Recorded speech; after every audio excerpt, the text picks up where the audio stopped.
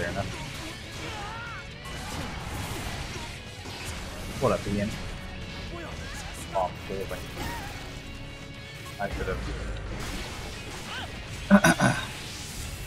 Alright.